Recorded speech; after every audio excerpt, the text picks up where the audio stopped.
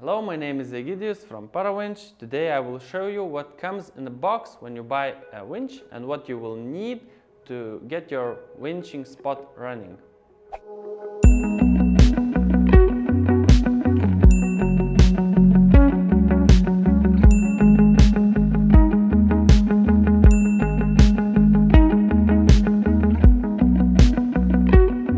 So four most important things for winch to run.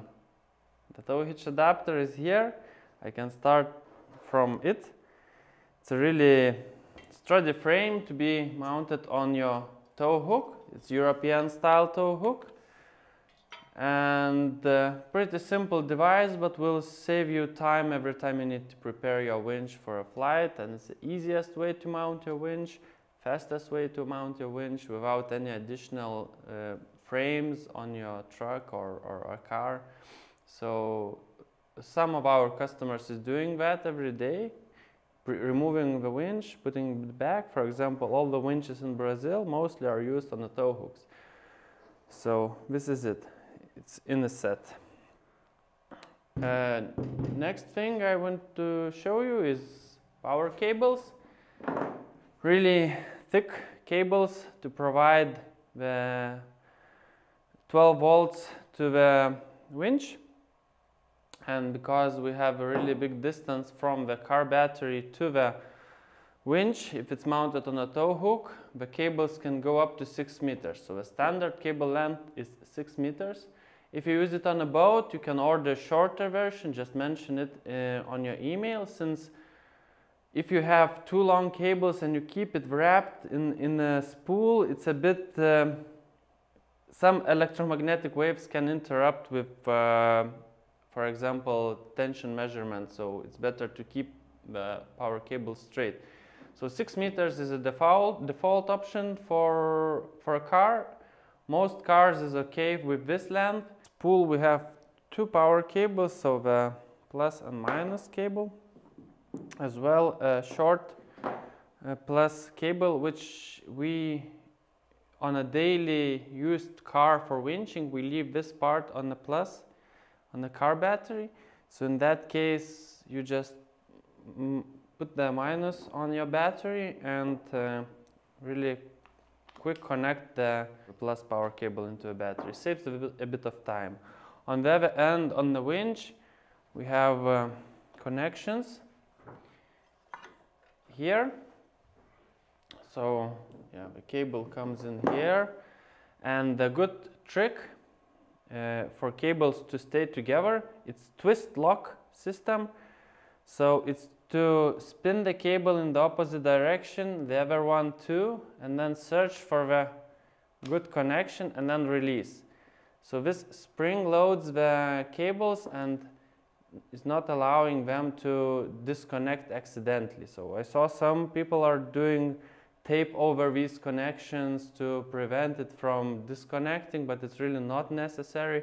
We did it too many times and just spin it a few times and it really spring loads the connection and you can connect it, search for a pin to go in, it goes in, you release and it's locked. If you need additional cable set or you want to have a different length, just let us know over the email. We provide any length you need.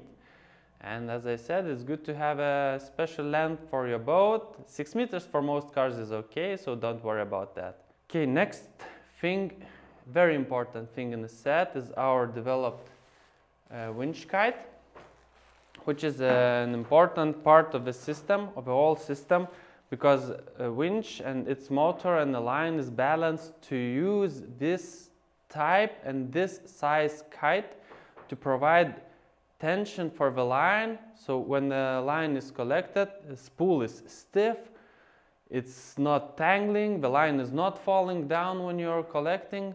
This winch kite is flying all the time, you're saving the line from touching the ground and water, which is very, very important thing because when you, the line is touching the ground, it's still flying and the winch is still able to collect it. But if the line, if you use the winch on the water, and if the line is touching the water, it's over, game over. The line will fall down in the water and then you will collect it from the water and it's a bit different technique. I will not go into the details of that now, but just to say that this is the part which is which makes the winch work like it works.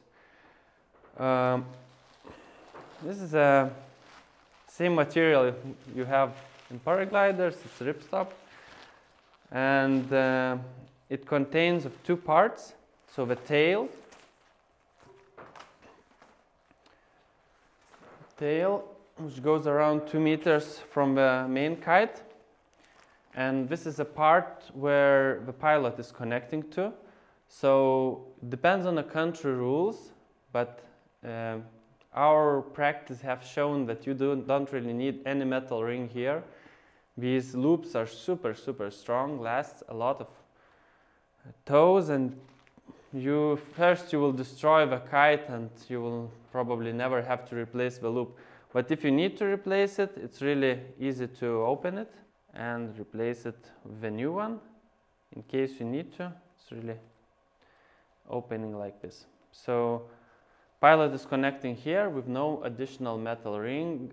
If rules is not requiring it, we are not recommending to have any additional metal rings on the tail of a kite. So you are saving your teeth in case the line breaks. So it's always here. You imagine pilot is being towed and if a line breaks, sometimes it can go back into you. So safest option is a soft link here. So this tail is stabilizing the winch kite while it's in there. And the kite itself contains of five lines. And it's in a shape like this when it's flying, when you are being towed, I mean, towed, I mean. And uh, it gives just a bit of drag and it's not flying at the moment. Very important, very important thing before every tow for this kite to work is to have it properly folded. Most of the times it's folded like this, but sometimes it happens when you're bringing the line back that the kite can be inside out, like this. And in this case, uh, the inflation can be delayed. Be careful, that's why we have two colors, white on the outside and the red in the inside. So the proper fold is like this, with a center line in the middle, folded inside, and uh, the red color inside. So if you see red color, something is wrong with the kite. Kite, we have a carabiner which goes to the winch line, and that's about it for the winch kite now. And of course the winch. The winch comes folded in a box. It's tested and ready to run very important thing what we do before shipping every winch we go to the field and we put the winch line on it and we stretch the line and then we collect the line with the winch kite which puts the line on a drum with a certain pressure so next time you tow a tandem for example the line is not digging in so it's completely ready to run we do at least five test flights with every winch before we ship it so we're sure it's working what can I show you about the winch? It's the control, which is folded on the top, six meter uh, control wires. Let me put up the tower. Okay, it's done like this. Legs goes in, then you. Uh, this is how 1600 meters of line looks like on a winch. You can see it's still you could fill up maybe 200 more but we saw that 1600 is more than enough. We use it for SIV trainings and it's up to 1000 meters altitude towing. I don't know why would you need more. If you need more let us know. Maybe the additional 200 meters would be better to place after 50 or 100 flights because the line stretches a bit, then it settles down on the drum and it leaves a bit more space. So everything here is for a winch to be ready to run. You can go on the field with a car equipped with a tow hook, mount the tow hook adapter, put on the winch, connect the winch kite to the line, put on the power cables and you are ready to run. let me know if you have any questions about this system and which details of this setup is important for you and I will try to answer all your questions on our next video. Thank you for watching and subscribe our YouTube channel.